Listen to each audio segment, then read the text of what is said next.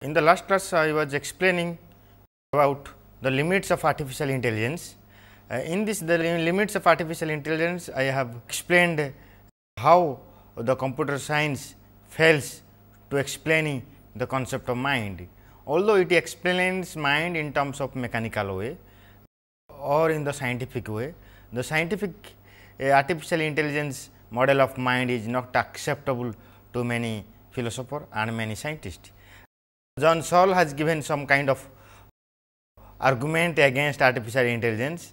Then I have given some of the argument against Putnam's view on artificial intelligence. Uh, now, we are going to explain Dreyfus argument against AI.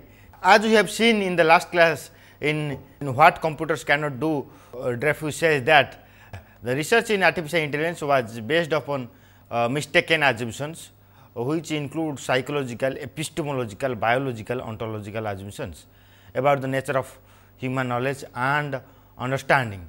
And we will see what these assumptions are now.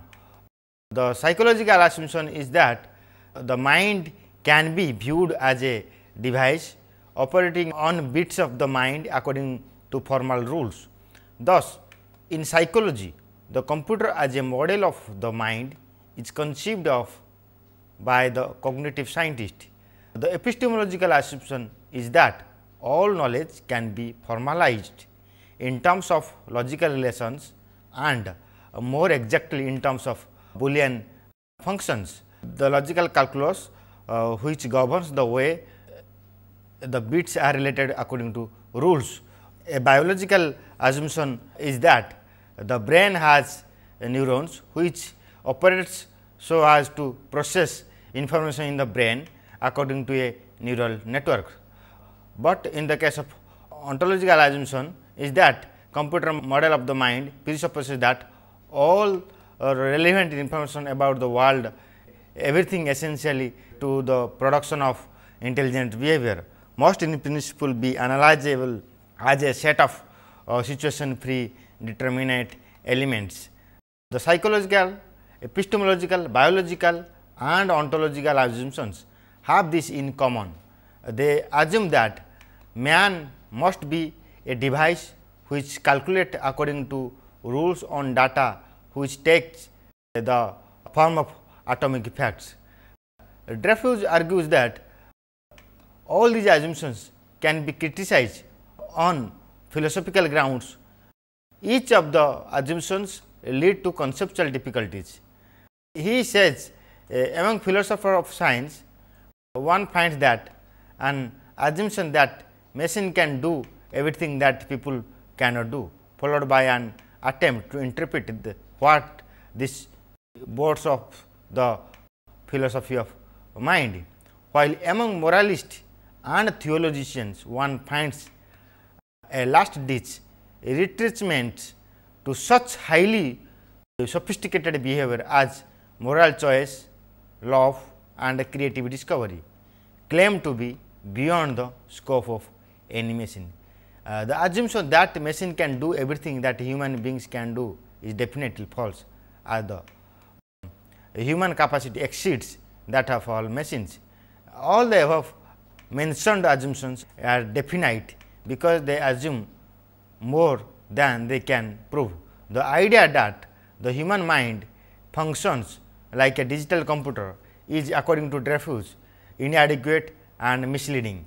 Dreyfus in his famous article misrepresenting human intelligence points out that the research in artificial intelligence has misrepresented the nature of human intelligence because it emphasizes that the computers have capacity to understand language processing, pattern recognitions, the problem solving etc. But this is the only a poor imitation of what human beings can naturally do. Dreyfus points out that artificial intelligence field of research dedicated to using digital computers to simulate intelligent behavior soon came to be known as artificial intelligence. One should not be misled by the name. No doubt, an artificially nervous systems sufficiently like the human one with other features such as sense organs and a body would be intelligent. but the term artificial intelligence does not mean that the workers in artificial intelligence are trying to build an artificial man. Given the present state of physics, chemistry and neurobiology, such as understanding is not feasible. Likewise, the term intelligence can be misleading. No one expects the resulting robot to reproduce everything that counts as intelligent behavior of human beings. According to AI artificial intelligence scientist, any complete description of behavior should be adequate to serve as a set of instructions that is, it should have the characteristics of a plan that could guide the action described. But as Dreyfus argues that what instructions could one give a person about to understand the actions? Perhaps some very general rules such as listen to the instructions, look towards an object, make your selections, etc. It is not clear why or how a complete descriptions in psychology should take the form of set of instructions. Again, artificial intelligence scientists say that human bodies are part of the physical world and objects in the physical world have been shown to obey the laws which can be expressed in a formalism manipulable on a digital computer. To be more particular, if the nervous systems obey the laws of physics and chemistry, then it is bound to be a part of the physical world. Accepting the fundamental assumptions that the nervous systems is a part of the physical world, that all physical processes can be described in a mathematical formalism, which can in turn be manipulated by a digital computer. One can arrive at the strong claim that the behavior which results from human information processing, whether direct formalizable or not, can always be indirectly reproduced on a digital machines. Against the above view, Dreyfus argues that every form of information processing cannot be principle be simulated by a digital computer. Therefore, the strong claim that every forms of information processing can be imitated by a digital computer is misleading. Arguing against the epistemological hypothesis, Dreyfus says that is there reason to suppose that there can be a formal theory of what linguistics call pragmatics. There are two reasons to believe that such a generalization of syntactic theory of impossible. Firstly, an argument of principles.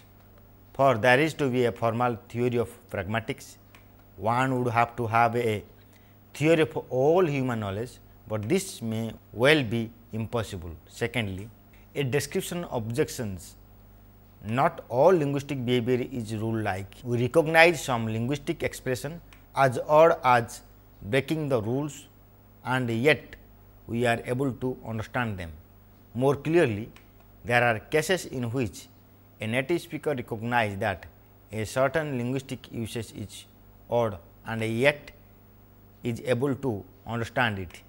For example, the phrase the idea is that in the pen is clear in a situation in which we are discussing promising authors. And here the idea is in the pen is not referred to a particular physical or a material things, but here we are referring to a promising authors. But in fact, an idea cannot be in the pen, because obviously an idea is not a physical object. It is a one of the quality which is existing in a conscious human being. As we know, programmed behavior is either arbitrary or strictly rule like. Therefore, in confronting a new usage, a machine must either treat it as a clear case failing under rules or as arbitrary. A native speaker feels he or she can recognize the usage as odd, not falling under the rules and yet can make sense of it, gives it a meaning in the context of human life. These usages which are arbitrary are likely to be understood in the context of human activities. The Dreyfus critique therefore, is not addressed against computer per se, but against one particular way of programming them. Dreyfus seems willing to grant that machine intelligence can replace human intelligence. This shows the limits of artificial intelligence as a program. Now, we will see Penrose's arguments against artificial intelligence. Penrose one of the most important physicist and as well as a philosopher. In his classic books on what the shadows of the mind said that it is very difficult to simulate the human mind and uh, while arguing against a artificial intelligence, he says that we accept our own belief that true intelligence requires consciousness and we are implicitly suggesting that intelligence cannot be properly simulated by arithmetic by a computer in the sense that we use that terms today. Uh, he argued that there must be a, an essential algorithmic ingredient in the actions of consciousness and his suggestion is that unconscious actions of brain are one that proceeds according to algorithmic rules whereas the consciousness acts of the minds are non-algorithmic.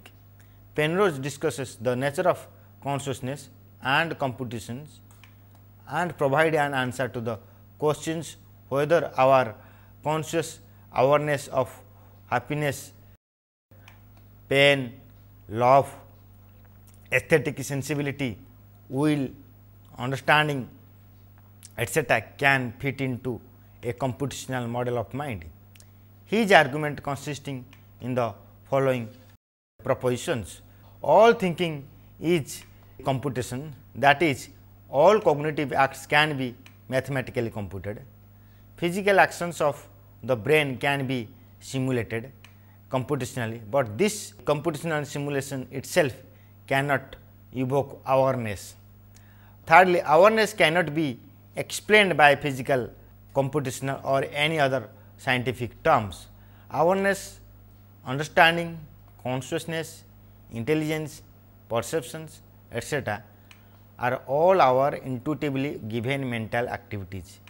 These cannot be computationally explained according to Penrose.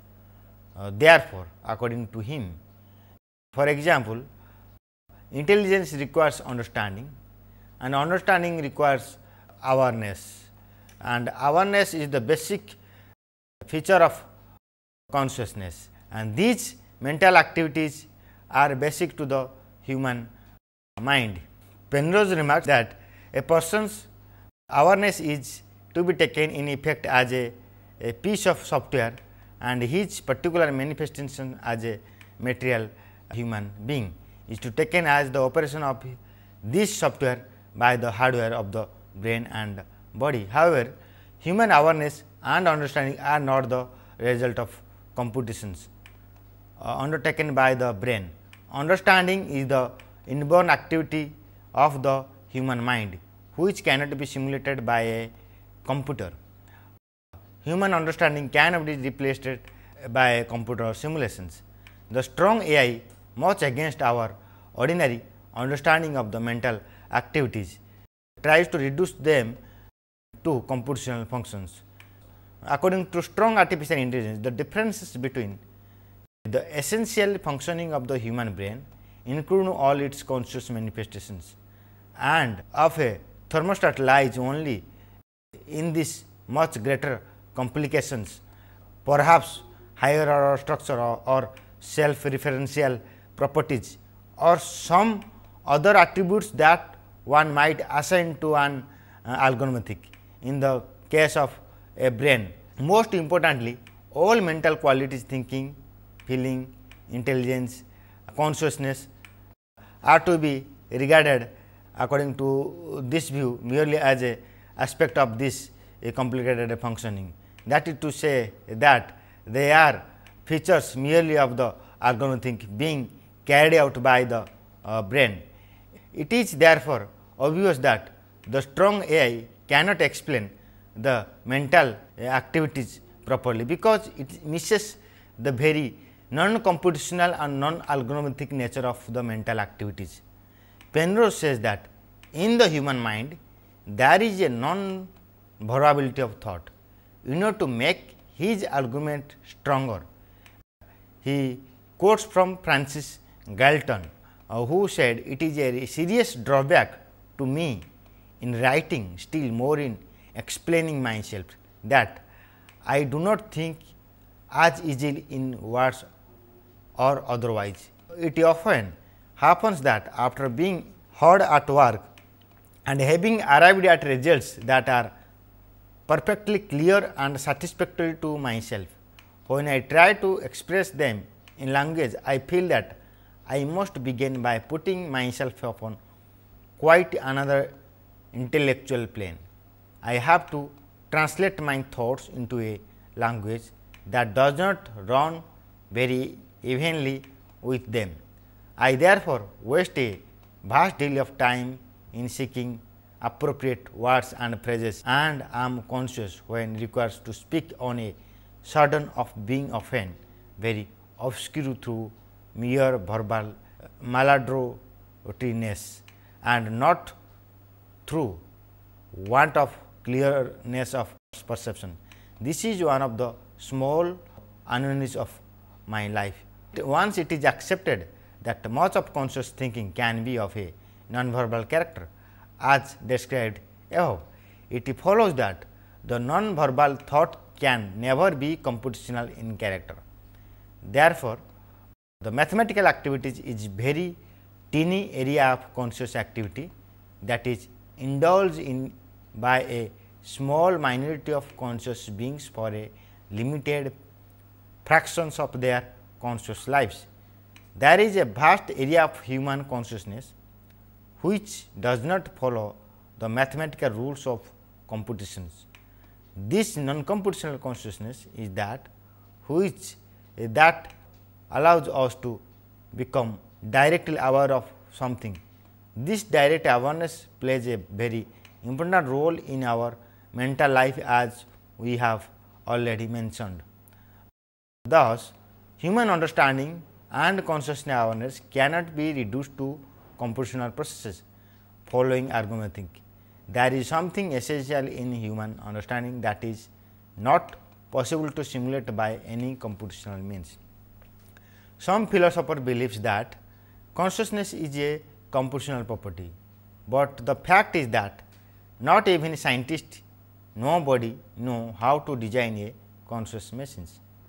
McGinn interprets uh, the concept of machines in two ways in the narrow sense and in the wider sense. The narrow sense to refer those machines which are constructed by a human being such as motor cars, typewriter, pocket calculators, office computers and etc. In these machines consciousness can be found. In the wider sense of the word machine, there are mechanical devices which are the artifacts or the intentional products of some kind of intelligence. In these conceptions, McGinn put forward the following questions could a human artifact be conscious? Could an artifact of any conceivable intelligence be conscious? The first question concerns whether human beings can produce a conscious artifact with his superior technological power. It is like asking whether we shall ever travel to another galaxy. The second question raises the issues of whether the concept of an artifact is such as to eliminate the possessions of consciousness. McGinn does not rule out the possibility that an artifact could be conscious. According to him, suppose there were an intelligent clever enough to create beings physical just like us, then I think this intelligence would have created conscious beings or consider the doctrine of creationism. And if we are the artifacts of God, this is not a reason to suppose ourselves unconscious. After all, there is a sense in which we are artifacts, for we are the products of natural selections operating upon inorganic materials to generate brains capable of subserving consciousness. In the wider sense, the human beings are artifacts of nature and are conscious. Even then, all artifacts like tables and chairs are not conscious.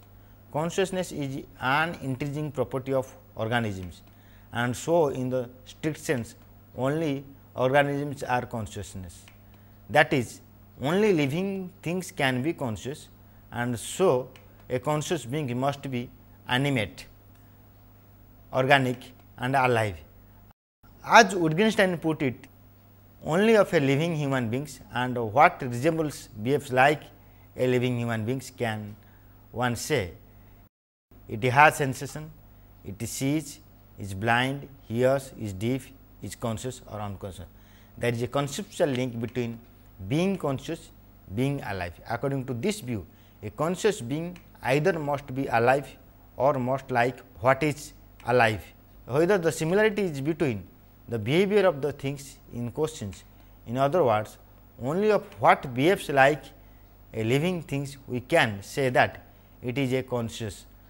Our concept of a conscious state is the concept of a state with a certain sort of behavioral expressions. We cannot really make sense of conscious stone, because the stone does not behave like conscious beings. The point is that being biological alive is not same as being consciousness, but it is necessarily that a conscious being should behave like a living thing. Instead of identifying consciousness with the metallic composition of the brain, we should identify it with certain higher order properties of the brain, which manifests in conscious behavior. For example, pain is a higher order property of physical states, which consists in having a certain pattern of causes and effects and certain outward behavior. Now, coming back to the problem of artificial intelligence, it goes without saying that machines do not have consciousness. The so called artificial intelligence does not entail consciousness. The computing machines of artificial intelligence are limited in a way the human beings are not. So, that it is out of the question for a conscious mind to arise merely in virtue of computations. Uh, now, uh, this is all about Dreyfus argument against artificial intelligence and also Penrose argument against artificial intelligence. And now, we will see some of the argument which has been put forward by Kurt Gödel and uh, Gödel has given a very interesting argument against artificial intelligence. Uh, let us see what uh, Gödel says against artificial intelligence. Gödel's theorem states that in any consistence which is strong enough to provide simple arithmetic, uh, there are uh, formula which cannot be proved in the system, but which can see to be true. Such a formula is the formula which is unprovable in the system. If this were probable in the system, then it will be unprovable in the systems. So, there will be a contradictions. Uh, so, the formula uh, this formula is unprobable in the system is not probable in the system, but unprobable in the system. Further, if the this formula is unprobable in the system, then it is true that the formula is unprobable in the system. That is, this formula is unprobable in the system is true. The whole effort of Gödel's theorem is to show that all formal systems which are consistent adequate for simple arithmetic uh, that is contain the natural numbers and the operations of additions and manipulations.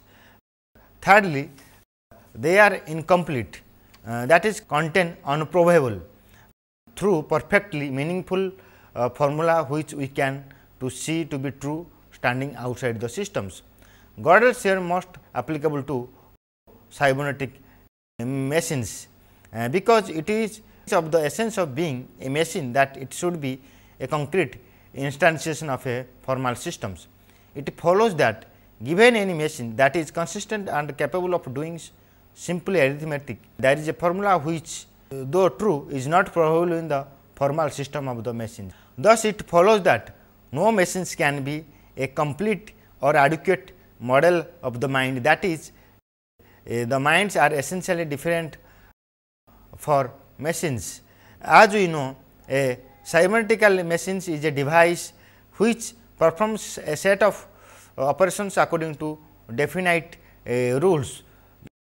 Normally, we program a machine that is we can that is we give it a set of instruction about its functioning and we need we feed in the initial informations on which a machine is to perform its calculations.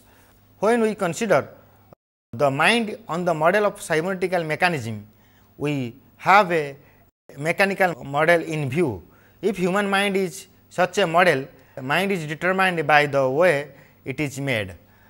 Then there is no possibility of its acting on its own as it is governed by certain rules of constructions and certain inputs of informations. But this is not the characteristics of mind as the mind does not act under ready made rules. In the machines uh, there are some formal rules of inferences having been applied to some previous formula. We can construct Gödelian formula in the formal systems. This formula cannot be proved in the systems. Thus, the machines cannot be proved the corresponding formula as true, but one can see that Gödelian formula is uh, true. We can now see that any mechanical model of mind must include a mechanism that can elucidate truths of arithmetic, because this is something uh, which minds can do. In fact, it is easy to produce mechanical models which will in many respects produce truth of arithmetic far better that what the human beings can do, but for every machine there is a truth which it cannot be proved, but which can be proved by the mind. Thus, in the words of uh, Lucas, uh, this is not to say that we cannot build a machine to simulate any desired piece of mind like behavior. It is only that we cannot build a machines to simulate every piece of mind like behavior. We build machines capable of reproducing bits of mind like behavior and indeed outdoing of the performance of the human minds. But however, machine cannot do much better understanding of truth factors of the uh, any kind of uh, computational uh, work. But in the case of machine that kind of truth is not there according to uh, Gödel. Gödel argument shows that the mechanical model of mind because of its inherent limitations cannot simulate the functions of the human mind, human mind uh, which are infinite and indefinite. Further it shows that machines are finitely closed and hence cannot compared with the human minds. The way Gödel, Gödel is explaining uh, is criticizing that the possibility of any kind of rules which formula which can be proved in the systems, but it is very difficult to find in the truth of that. And therefore, machines are in, incapable of doing any kind of mental activities. In this two lectures on limitations of artificial intelligence, I have explained some of the arguments uh, against artificial intelligence. Some of the next lectures uh, I will be um, explaining on how uh, Cartesian mind is non-computational and how the supervenience and emergentism are um, thesis of mind uh, establishing one kind of parallelism. And then uh, some other arguments on the theory of mind uh, which will not only establishing the existence of concept of mind which is distinct from the body at the same time some of the arguments are arguing against artificial intelligence. Thank you.